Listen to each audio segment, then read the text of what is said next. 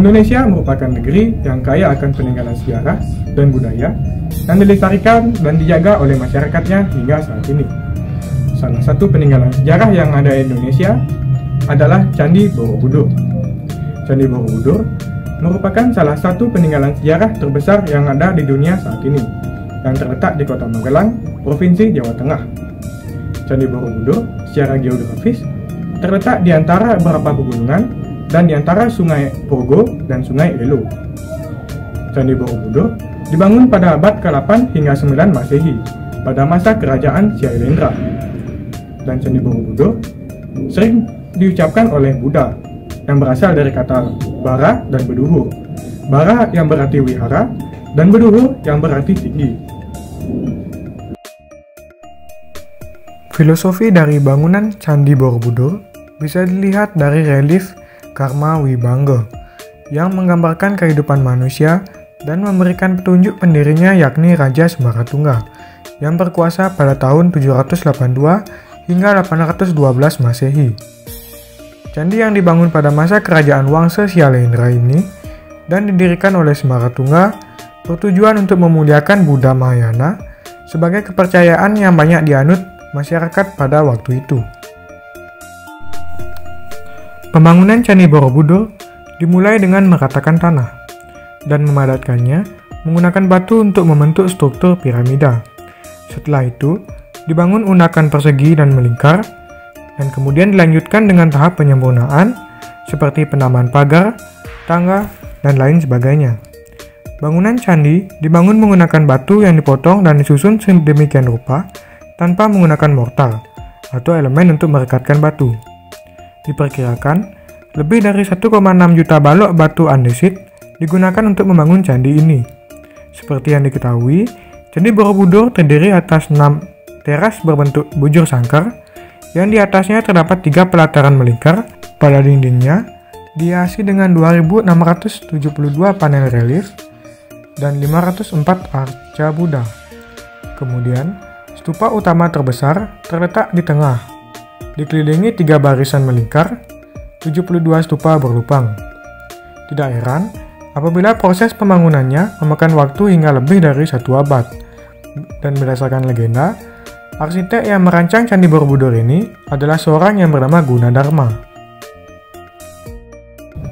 Proses pembangunan Candi Borobudur memakan waktu yang sangat panjang, hingga ratusan tahun lamanya. Hingga akhirnya selesai pada masa kekuasaan Raja Semaratungga pada tahun 825 Masehi. Dan Candi Borobudur dibangun pada lima tahapan. Dan menurut sejarah yang ada, Candi Borobudur merupakan simbol dari sebuah alam semesta. Arsitektur dari Candi Borobudur berbentuk setengah lingkaran, yang di mana setengah lingkaran ini merepresentasikan ajaran agama Buddha, yaitu tiga tingkatan pada alam semesta, yaitu Kamedatu, Rupadatu, dan Datu. Pada tingkatan Kamadatu, dipenuhi dengan relief manusia dengan hawa nafsu atau dunia keinginan. Lalu Rupa Datu yang menggambarkan manusia memerangi hawa nafsunya atau dunia berbentuk. Dan yang terakhir Arupa Datu atau dunia tak berbentuk. Pada tingkatan Arupa Datu ini, tidak lagi memiliki hiasan atau relief-relief sebagai wujud terikat dengan unsur dunia. Tiga tingkat tersebut dapat dilihat pada Candi Borobudur berdasarkan beberapa relief yang ada. Relief yang ada memiliki panjang sampai 3 meter. Selain itu, ada 1460 figura yang diselingi dengan beberapa bidang pemisah sekitar 1212 buah. Pada bagian atas deretan figura memiliki semacam pelipit yang membujur dan memanjang hingga mencapai 1,5 km. Pelipit ini sendiri memiliki hiasan yang berbentuk seperti rangkaian bunga teratai. Lalu, di samping itu, pada bagian atas juga terdapat hiasan dengan simar yang memiliki bentuk segitiga berjumlah 1476 buah.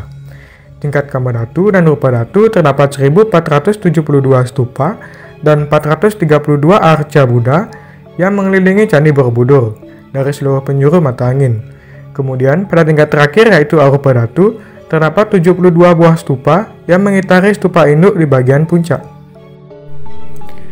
Berdasarkan situs Cagar Budaya, Kementerian Pendidikan dan Kebudayaan menyebutkan bahwa ada beberapa tafsiran lain yang menuturkan bahwa Candi Borobudur tidak hanya semata-mata berlatar agama Buddha.